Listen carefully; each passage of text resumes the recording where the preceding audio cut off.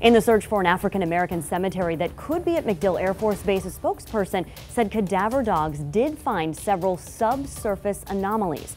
However, they were not in the original search area, and it's unclear if they're related to the lost cemetery. Crews expanded the area after more research and talking to people in the community. We are expecting a more detailed update on Monday.